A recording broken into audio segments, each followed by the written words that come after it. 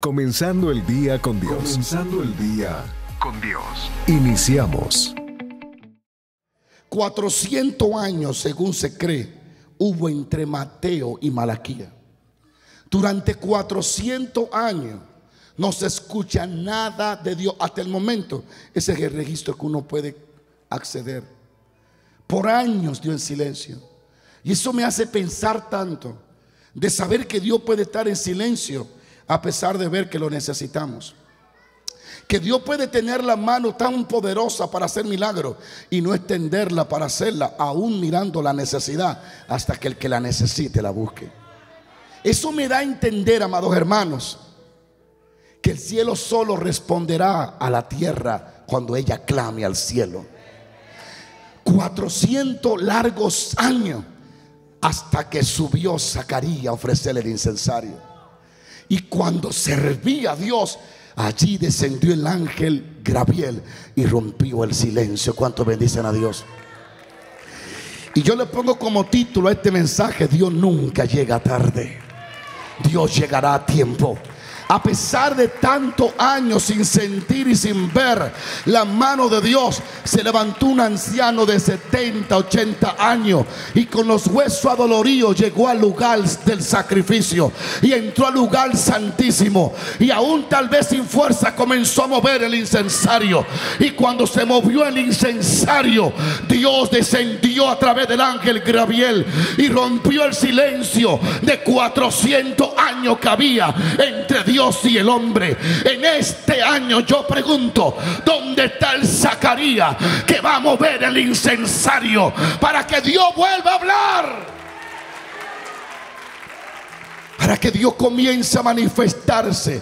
Yo le animo a que tomen el incensario de la oración, el incensario de la adoración, el incensario de la santidad, el incensario de la alabanza y comiencen a mover el incensario. Te alabo porque tú eres bueno, te alabo porque tú eres grande. Solo en ti está la vida. Alguien comience a invocarle a Dios con ese incensario y yo les digo en el nombre de Jesús que va a aparecer ser ángeles, va a haber manifestaciones divinas, volverá a extenderse la mano del Dios vivo. Sigo paro, sigo paro. Cuando él movió el incensario aparece el ángel ahí delante de él y comenzaron a hablar. Y le dice, Zacarías, tu oración ha sido escuchada. Tu mujer Elizabeth va a tener un hijo. Y ese niño se llamará Juan. ¿Cuánto bendicen a Dios? Esta, esta pareja eran santos, irreprensibles, y eran justos. Eran justos. Y a pesar de ser gente buena, ella seguía siendo estéril. La pregunta es por qué era estéril si era justa, si era irreprensible. ¿Por qué? Porque no había llegado el tiempo de que se le abra la matriz.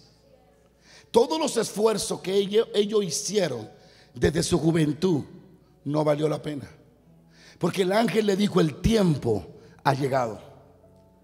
Cuando llega el tiempo de Dios, Él comienza a responder la oración. Y el ángel le dice, tu oración ha sido oída. Y estoy aquí para decirte en respuesta a tu oración, tanto Daniel como Zacarías, ellos solo reciben lo que oraron. Por un minuto piensa y analiza que el Todopoderoso diga, bueno, yo soy Dios, soy grande, soy magnífico, soy el único y verdadero Dios. Le voy a dar todo lo que ella ore. Cuando ella ore, yo le voy a dar lo que ella pida. Imagínate que Dios determina hacer eso con esta sierva. Pero resulta que la sierva deja de orar. Tapa su boca y no busca a Dios. ¿Qué va a pasar? Dios no hará nada. Aunque usted no lo cree, eso es lo que la Biblia dice. Que Dios solo va a responder a la oración. Jesús dijo, no reciben porque todavía no han pedido. Dios solo va a responder al clamor y a la oración. Dios no le responde un mudo espiritual. Sigo paro. Y le dice, Zacarías, tu oración ha sido escuchada. Y como respuesta que Dios escuchó tu oración, yo estoy aquí en respuesta a eso. Para enviarte, ¿cuál era la oración de Zacarías? Tener un hijo. Y decirte que tu mujer, Elizabeth, tendrá un hijo. Y no solo un hijo, sino que producirá gozo y alegría. Y todos se gozarán, porque él halló y hallará gracia para con Dios. Y este será grande, le dice el ángel. Es un profeta lo que vendrá. No beberá sidra ni vino, porque él es, él caminará en el poder de Elías, en el espíritu de Elías. Él es el que prepara el camino. Le dice el ángel, y tu hijo, Zacarías, será lleno del Espíritu Santo desde el vientre. Alguien alabe la gloria de Dios. El ángel profetizando lo que iba a acontecer. ¿Y sabe qué hace Zacarías? Cuestiona al ángel. Era tanta la imposibilidad que él había vivido.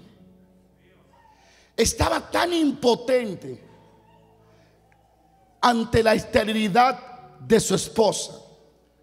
Lo había intentado tantas veces. Habían hecho cuantas cosas pudieron. Que literalmente este sacerdote no tenía ya fe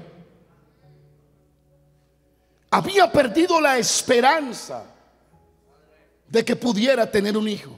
A los 30, a los 40, a los 50, todavía se reía solo pensando en que iba a tener el hijo. Pero cuando entró los 80, a los 90, toda idea en él y en su esposa de tener hijo desapareció. Había sido tan desilusionado tantas veces que ya le costaba creer una más. Había creído tantas veces y no había visto nada que determinó dejarlo así. Y cuando el ángel le dice lo que va a suceder, está tan atado y tan amarrado a la imposibilidad que ni siquiera mirando un personaje lleno de gloria, él le puede creer. Su corazón estaba tan lleno de incertidumbre y de duda, que mirando que él entró solo y de repente aparece un ser brillante y le dice lo que va a suceder, a él le cuesta creerlo. ¿Sabe cuántas personas no es el diablo que lo mantiene atado? Sino que han perdido la fe. Porque lo han intentado tantas veces y le ha fallado tantas veces que lo que han creado es una fortaleza mental y se han llegado a convencerse de que con ellos Dios no lo va a hacer. Y cuando Dios le habla, no le pueden creer a Dios.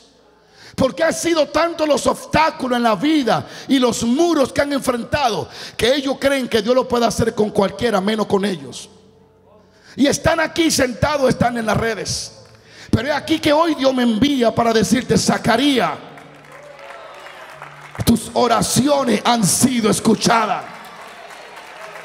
Y aunque la duda ha invadido tu corazón, yo quiero que sepa que Dios tiene todo el poder para hacer realidad lo que Él dijo que va a hacer. Agradecemos a Dios por esta palabra y a ti por escucharla.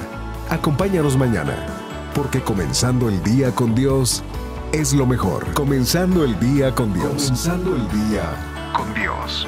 Ayúdanos dando like y compartiendo. Además, invitamos a dejar tu comentario o petición de oración.